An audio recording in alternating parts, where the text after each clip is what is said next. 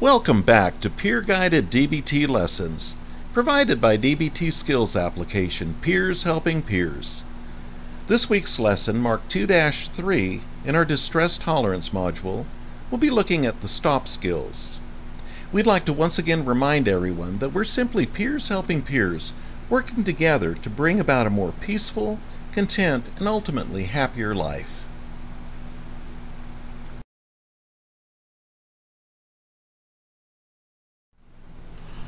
The components that make up the distress tolerance acronym for STOP skills are S for stop, T for take a step back, O for observe, and P for proceed mindfully.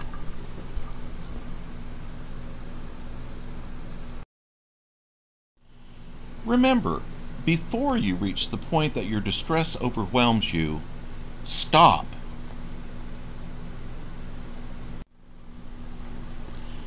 Stop.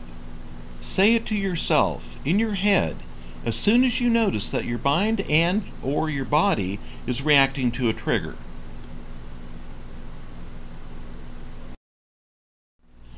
Sometimes it helps to visualize a big red stop sign, something that will make you pause. Stop helps to put in the space between the stimulus the trigger, whatever we are reacting to, and our response.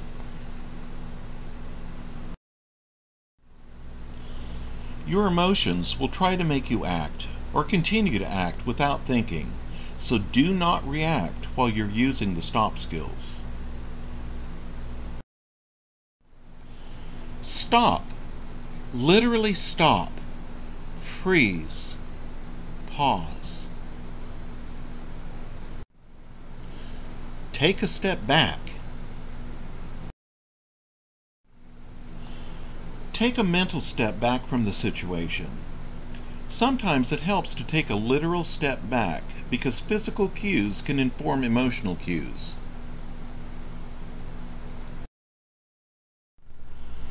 Take a break from the situation for a moment. Pause your feelings for this moment. Basically, you don't want to find yourself acting impulsively while you try to use this skill, so detaching yourself from the situation momentarily can give you perspective or just breathing room.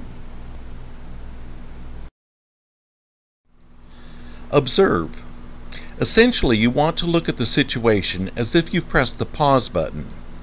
Pausing the situation, including the emotions you feel and the urges they can be causing, often helps de escalate the intensity of your emotions. Next, we want to proceed mindfully. This also means proceed effectively. Proceeding effectively means doing what the situation requires to achieve your goals, both short term and long term goals. Act with awareness. In deciding what to do, consider your thoughts and feelings, the situation, and other people's thoughts and feelings. Ask yourself which actions will make things better or worse. Consider the consequences.